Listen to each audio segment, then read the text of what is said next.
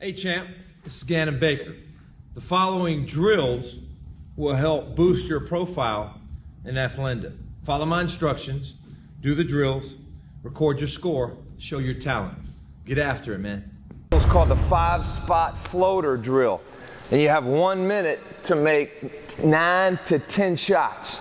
Now, your floater has to be taken outside the lane.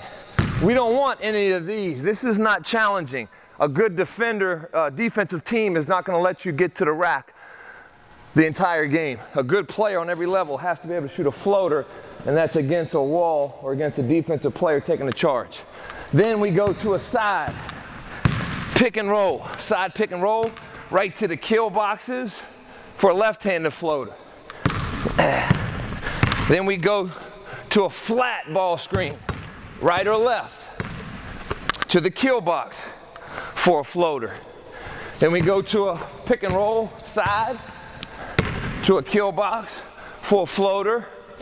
And then this symbolizes like a rip through corner floater with the left hand. And then we start all over again. Again, you got one minute to make nine to 10 shots. Keep developing that swag, baby.